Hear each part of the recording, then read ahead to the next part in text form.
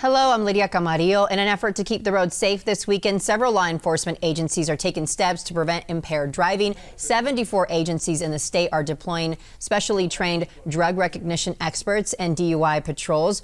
Tucson Police and Pima County Sheriffs will have checkpoints starting today at 6 p.m. throughout the weekend. Here are some ways that you can stay COVID safe while enjoying the holiday. The Arizona Department of Health Services says whether you're trick or treating or handing out candy, stay home and away from others if you feel sick. They say trick or treaters should wear face masks in addition to any other Halloween mask, social distance, use hand sanitizer, and avoid touching things other people have touched.